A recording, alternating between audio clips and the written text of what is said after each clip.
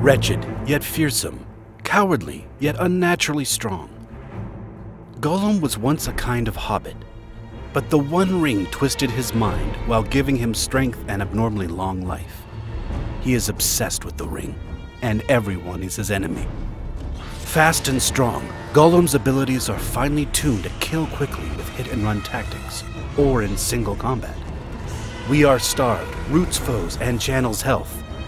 Follow up with My Precious, which has no cooldown if it results in a kill, letting you unleash it again immediately. Coward removes harmful effects and gives a speed bonus for great escapability. Gollum needs to watch out for fellow strikers due to his low health, and especially enchanters like Gandalf due to low resistances. As an enchanter, Gandalf is wise enough to wield an elven ring of power, and has the tenacity to fight with sword and staff together, making him as deadly to foes as he is powerful to friends. With high health and resistances, this tanky guardian is perfect for facing off against large formations. Gandalf can unleash a punishing burst of long-lasting AoE damage with fireworks, and Flame of Anor gives a massive protective shield to Gandalf, giving him the ability to tank like few enchanters can.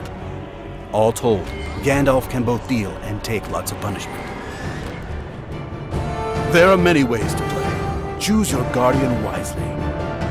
For more info, check us out at guardiansofmiddle-earth.com and follow us on Facebook and Twitter.